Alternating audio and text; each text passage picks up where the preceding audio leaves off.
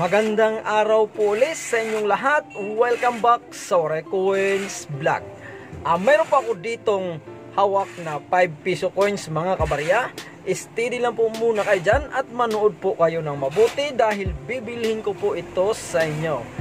Bago nyo po malaman ang lahat kung anong mga year yung aking bibilhin sa ating 5 piso coins, meron lang muna ako ditong isang ibubunggang shoutout na isang friend o isang viewers na laging nanonood sa aking munting channel.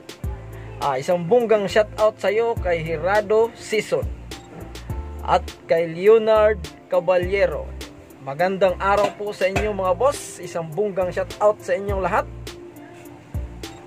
At next po magpapa-shoutout, pakilagay na lang po ng lugar para alam ko po kung taga saan kayo. Mabuhay kayo mga boss. Maraming maraming salamat po sa panonood nyo sa aking munting channel. Balik tayo dito sa aking hawak na 5 piso coins. Mabilis lang to mga kabarya kaya man makinig po kayong mabuti. Mayroon po ko ditong year 2006 5 piso coins. Hindi ko na po ipapakita ang likod ng ating 5 piso. Kung mayroon pa rin po kayo nitong year 2006 at saka year 2007 and year 2008 at saka year 2000 po.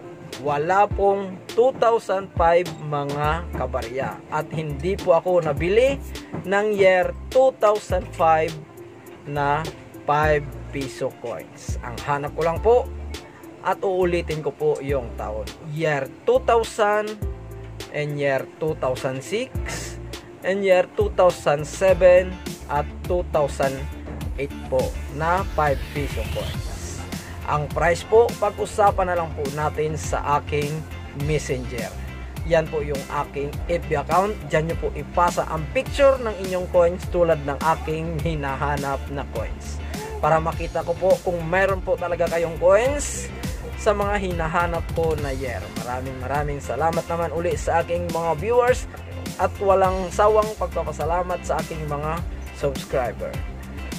Ingat po tayong lahat. God bless po sa inyong lahat. Ako pa lang iyong lingkod, si Waray. God bless you all and thank you. Kaupay mo basanin